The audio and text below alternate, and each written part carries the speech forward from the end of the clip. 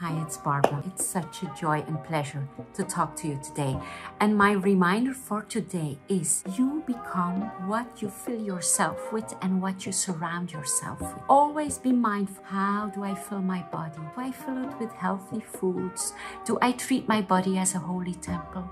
How do I fill my mind? Do I fill my mind with drama and negativity, or do I fill my mind with inspirational and motivational content?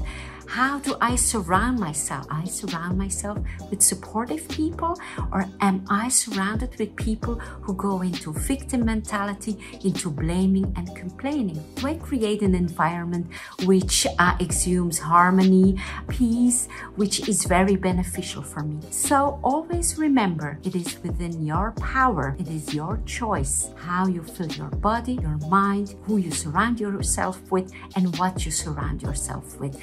And it will determine in the end who you are becoming.